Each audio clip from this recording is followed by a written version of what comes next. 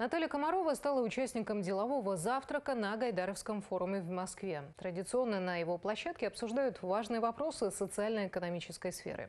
В столице работает наш специальный корреспондент Милана Поварницына. Добрый вечер, Милана. Расскажи, чем отличается нынешний форум?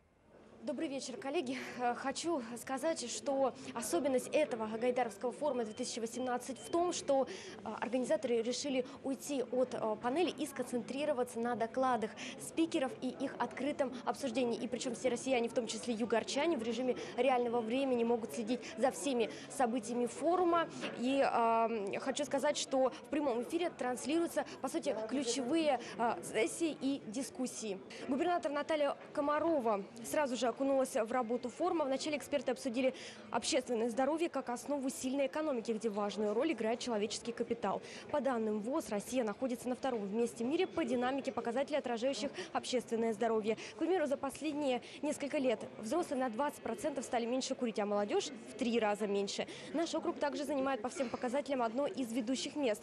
В Югре устойчивость экономики и сбалансированность бюджета позволяет инвестировать в здравоохранение, систему образования и спорт. И, как отметила Наталья Комарова, Пескова важно реагировать на все просьбы жителей, на все просьбы жителей округа и прорабатывать каждый вопрос.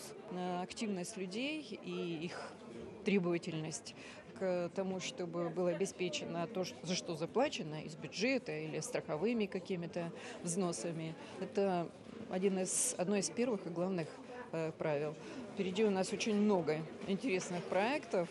Э, важных, э, нацеленных на вот эти базовые показатели, которые оценивают э, состояние общественного здоровья населения.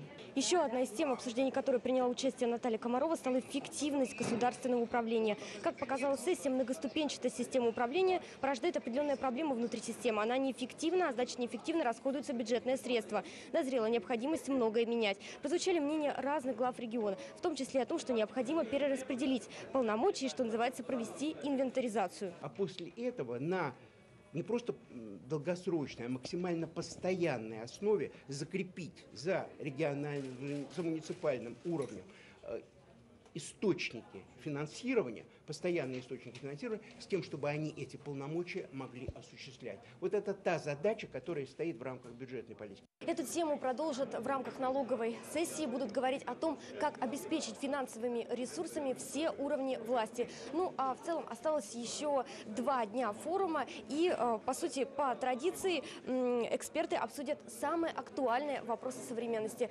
На этот час у меня все. Спасибо, Милана. Напомню, это была Милана Поварницына. Наша съемочная группа работает на Гайдаровском форуме в Москве.